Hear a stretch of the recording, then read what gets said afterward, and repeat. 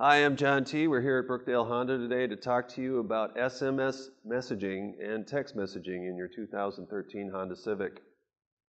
All right, as you're driving along, as you know, the Civic is equipped with the i-MID screen.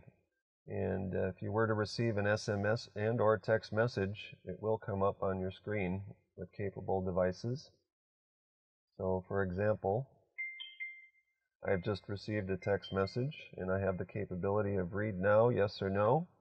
So as I'm driving along, I'm just going to hit yes. Hi, John. So there's my message. Now I also have the capability of replying with some very short SMS messages which are already built into your Civic.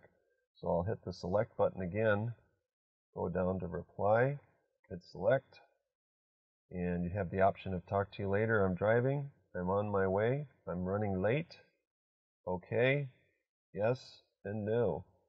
So just for the purposes of this uh, example, I'm going to take the default message of talk to you later, I'm driving, and I'm going to hit select, which again gives me the option of do I want to send it, yes or no, and I'm going to say yes.